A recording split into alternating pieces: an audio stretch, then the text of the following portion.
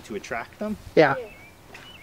because this is swarm season. Month of June in Nova Scotia is when a lot of hives are strong enough from overwintering where they uh, can reproduce.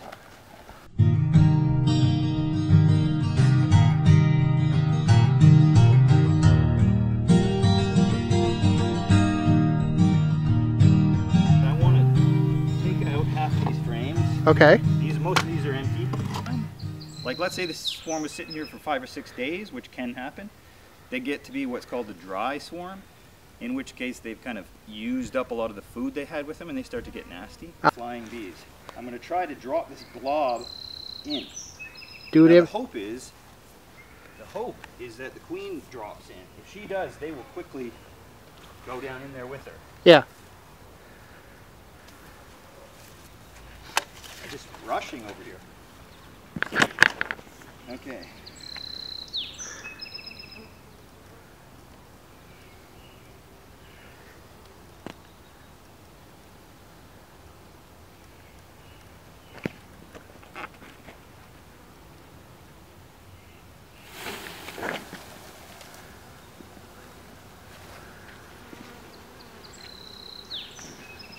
Nice. moving around. Actually, it looks like true. There's a lot of bees in the air, Yeah, there is. and they, they appear to be coming in. There is a lot of bees in the air. I don't know if you can catch it on yeah, camera. They are. They're, they're like they're passing me coming this way, so they're like Really? I wonder what's going on. I wonder if we've still got more bees adding to the swarm. wow. And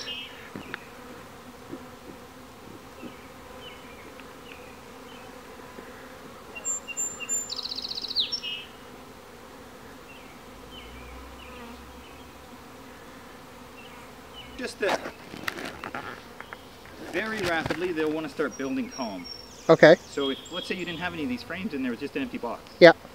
They'll start building combs on the ceiling. Oh, Then uh, when I go to move them, I gotta cut that apart. I gotcha. So if I can get frames in right away, Yeah. they may focus on that. Nice.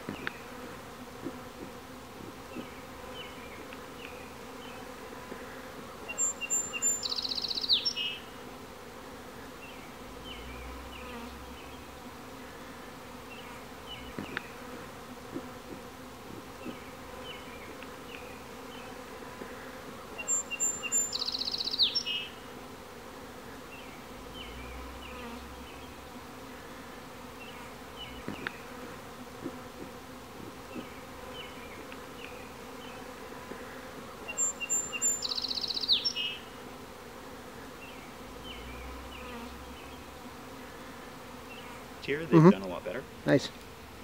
So um, yeah, it's you know I had just a couple hives for the first few seasons, and then last season I, I went up to 11 or 11 hives, and then I lost a few in the winter.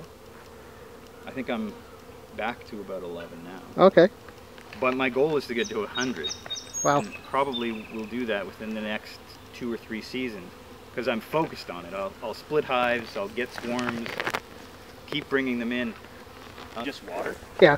And I just miss those bees on the outside, and to them it's like, ooh, getting get kind of chilly out, so they all go in in a few minutes. Yeah.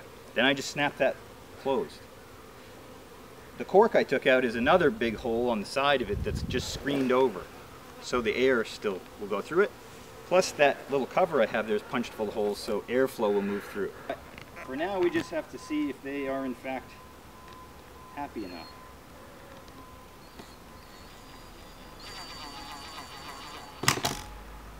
Try not to do too many of those impacts.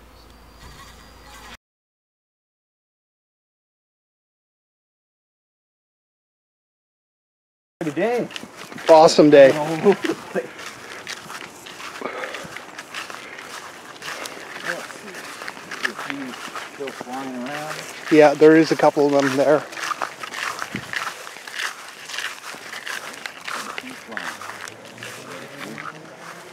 So how would you get those guys in? Well, basically, It looks like they are going in for the night. they'll quiet down here. At, you know, in the next few minutes, I imagine they'll all be in.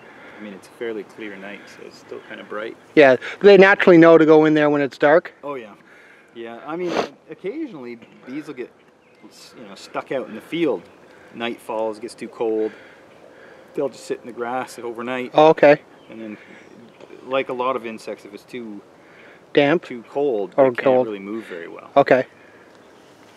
You, they say you either move them two feet or two miles. If Okay. You, if you wanted to move it just a little bit over, they'd adjust to that, like they did from the swarm location to that spot. Okay.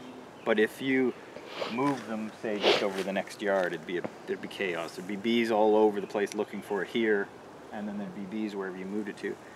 But if you close it up and move it to a completely different location, as soon as they come out, they realize their that their, their sense of place is totally screwed up, and then they uh, they reorient, which is where they basically just float around a little bit and kind of record again where they are in relation to the sun.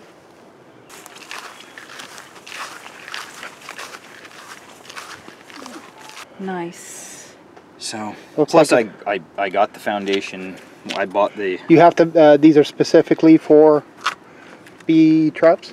oh no this is just for a beehive. The, Oh. the trap is just just one of these boxes Okay. where I've just drilled a hole in, in, in there for Yeah. an entrance, and I drilled another hole that I screened over for ventilation. It's just it's an old box. That Okay. box is ancient, so it's kind of Nice. beat up. But it worked well. They. Darn they- right.